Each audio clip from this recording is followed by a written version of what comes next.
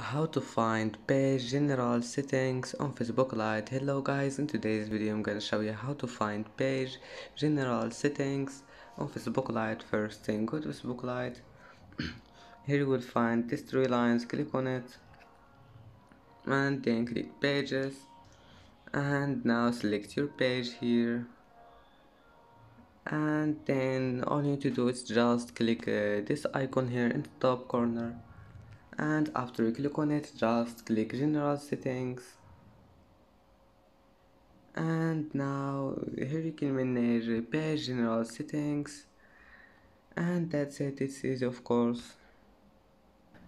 And that's it for today's video. If you like this video please don't forget like and don't forget subscribe. And thank you for watching this video. Until the end and uh, see you in the next video